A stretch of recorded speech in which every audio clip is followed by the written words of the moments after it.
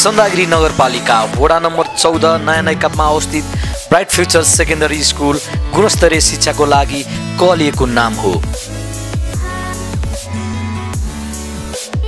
हालै यस विद्यालयले यसै शैक्षिक सत्रबाट सुरु गर्न लागेको प्लस टू शिक्षा चन्दागिरी नगरपालिकाका नगर प्रमुख घनश्याम गिरीको उपस्थितिमा रिबन काटी उद्घाटन कार्य सम्पन्न गरेको छ।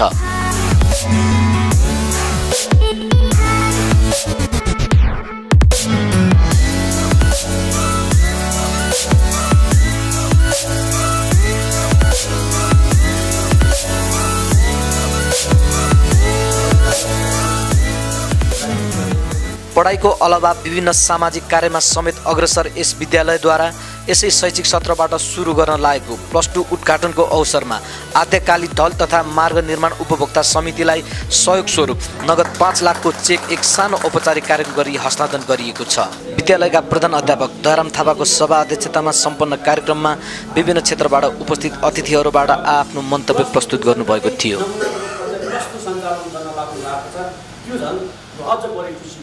विषय छ र हामी गर्व गर्नुपर्ने गर्व लाग्ने कुरा यो पनि रहेको छ। तसर्थ यहाँहरूको यो प्लस टूको कार्यक्रम चाहिँ अझ सफलता मिलोस् यही शुभकामना दिन सक्न चाहन्छु। यहाँ सामाजिक उत्तरदायित्व अन्तर्गत स्कुलले पनि केही बिहोर्नु पऱ्यो भनेर हामीले रिक्वेस्ट गऱ्यौँ हाम्रो रिक्वेस्टलाई चाहिँ उहाँले सुन्नुभयो र यो सामाजिक उत्तरदायित्वमा चाहिँ पाँच लाख चाहिँ जुन यहाँले दिनुभयो यो हाम्रो लागि ठुलो उपलब्धिको विषय हो। यहाँहरूले चाहिँ आगामी दिनहरूमा पनि यस्तै यस्तै सामाजिक कार्यहरूमा योगदान रहिरहोस् यस स्कुलले जुन यो घर निर्माणको लागि जुन सहयोग गरेको छ सराहनीय छ किनभने यस्ता सामाजिक कार्यमा हामी स्कुलले सहयोग गर्नुपर्छ। विभिन्न खालको चाहिँ सामाजिक कार्यहरू हुन्छ हाम्रो खेरीखेरीमा विभिन्न खालको के समस्याहरूलाई हामीले समाधान गर्ने सहयोग गर्ने हामीले अपेक्षा राख्नुपर्छ। हामीले प्राइभेट स्कुलले लिने मात्रै होइन कि दिने पनि काम गर्छ। भन्ने एउटा उदाहरण पनि भयो। त्यो हुनाले यस्ता काम यो स्कुलले मात्र होइन अरू स्कुलले पनि निरन्तर रूपमा गर्दै जानुपर्छ। समाजमा कस्तो खालको प्रब्लम आउँछ त्यो प्रब्लमलाई हामी समाधान गर्ने कार्यमा अगाडि पहिला व्हाइट हाउस कलेजबाट चाहिँ पूर्ण रूपमा चाहिँ त्यहाँ चाहिँ कार्यक्रम चलाएर चाहिँ सक्सेस भएर आउनुभएका भाइहरू हुनुहुन्छ।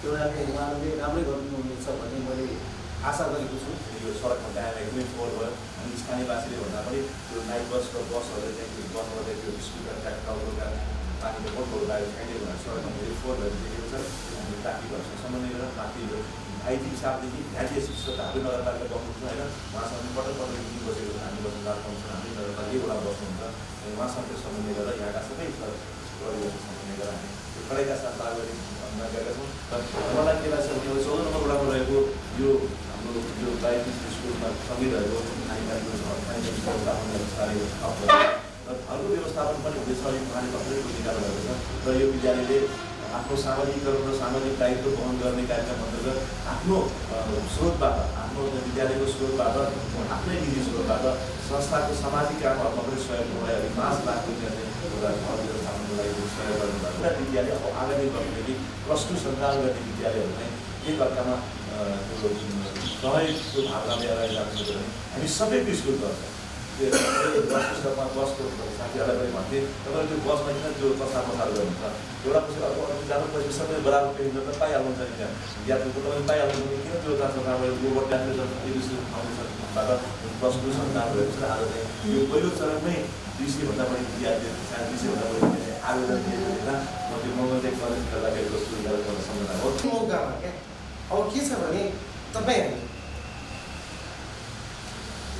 एकको समृद्धिको लागि अर्कोले साथ दिनु त्यसो हुँदा हामी सबै समृद्ध बन्न सक्छौँ।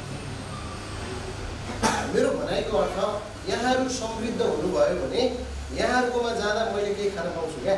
जस्तो सरोज महर्जन सरले प्लस टू एग्रिकल्चर र कम्प्युटर साइन्स सुरु गर्नु हामीले साइन्स र म्यानेजमेन्ट मात्र अब अर्को साथीले फरेस्ट्री हुनसक्छ अथवा होटलमै हुनसक्छ कि एजुकेसनमा हुनसक्छ सबैले बाँडेर गऱ्यो भने त हाम्रो विद्यार्थी यही त हो। अब हामीले हाम्रो शिक्षालाई कुनै परिवर्तन चाहिँ गर्नुपर्छ। हामीले अरूभन्दा अलिकति नयाँ चेन्ज चाहिँ ल्याउने प्रयत्न गर्छौँ। यो प्लस टूमै भए पनि। र यो स्कुलको ड्रिम हाम्रो ड्रिम चाहिँ के हो भने मन्टेश्वरीदेखि मास्टर्ससम्ममा जाने। यो प्लस टूको यात्रा भर्खरै सुरु हुन्छ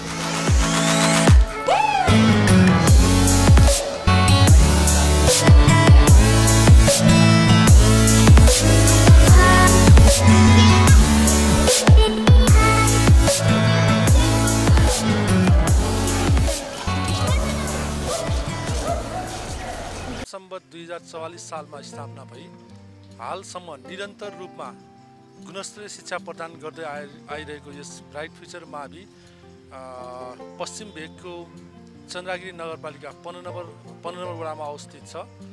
गुणस्तरीय शिक्षाका साथसाथै हालसम्म निरन्तर रूपमा उत्कृष्ट रिजल्ट पनि ल्याउन सफल भएको यस ब्राइट फ्युचर माविले यस शैक्षिक सत्रबाट प्लस टू साइन्स म्यानेजमेन्टका सङ्कायहरूमा अध्यापन गराउने जमर्को गर्दैछ। अहिलेको यो ब्राइट फ्युचर माविको अहिलेको यस एससी रिजल्टको कुरा गर्नु पर्दाखेरि यस वर्ष एक सय एकचालिसजना या विद्यार्थीहरूले यासीमा यासी इक्जाम दिएका छन् र जसमा चाहिँ नि अडचालिसजना स्टुडेन्टले ए प्लस अठारजना स्टुडेन्टले बी प्लस र अरू सबै बाँकी स्टुडेन्टले चाहिँ ए न ए ए ग्रेड चाहिँ ल्याउन सफल हुनुभएको छ।